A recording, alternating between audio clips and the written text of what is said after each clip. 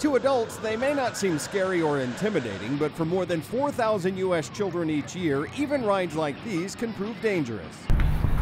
Just ask Crystal Malone. A few years ago, when her daughter Destiny was eight, she got on a ride like this one and wound up at the hospital with a broken arm. She had reached back to uh, high five one of her nieces, and as she was bringing it back, the wrist part got caught in the corners of the ride. And a new study is showing just how common injuries like that can be. Between 1990 and 2010, nearly 93,000 children were treated at emergency departments for amusement ride injuries. About a third of those kids were five or younger, and falling was the most common mechanism of injury. But it's not always the biggest, fastest rides that are to blame. When we talk about amusement rides, we often think immediately of the roller coasters and the large rides.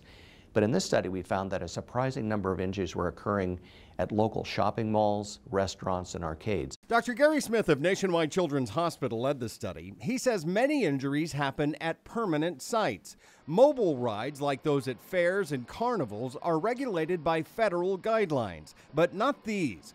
Fixed rides at places like amusement parks and shopping malls are regulated by local and state governments, and enforcement of safety standards can vary widely. It becomes very difficult to effectively regulate and prevent these injuries or even know how many injuries are occurring. Smith, who is also a professor of pediatrics at The Ohio State University, says we need to regulate all amusement rides more consistently to protect more children in the future.